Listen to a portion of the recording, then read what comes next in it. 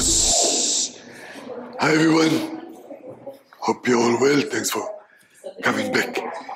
And this is Andre. He's gonna help me demonstrate. And you know, previously we practiced Mawashi Ashi, pivot, pivot, right? One side or the other side, right? Either way. But we can also do sometimes I have maybe too much weight on the back leg. See, too much weight on the back leg. I can't pivot on this leg. Oh, it's gonna take me extra motion. I have to come back and pivot. So my weight is already back. Just pivot on this side. Yes. So look, if Andres kick, I pivot. You see that? And I don't think of the legs. That's an important point. I only think twisting the spine. Spine, the leg fall.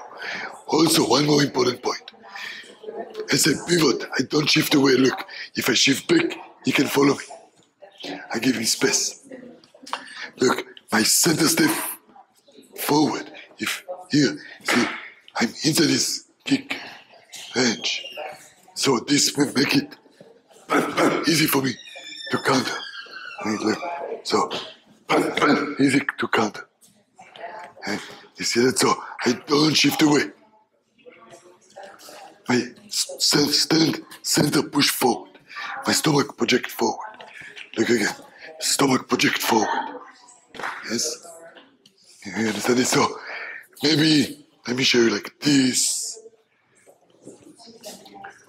So I, I go off the center line. Look. Off, but my stomach project forward. Right? I can adjust this foot a little tiny bit if I need to. Right? But if I need to, but of the center energy forward.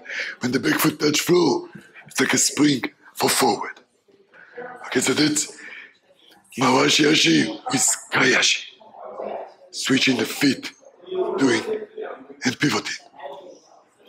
And thank you, Ada. And we get to do one more. Mm-hmm.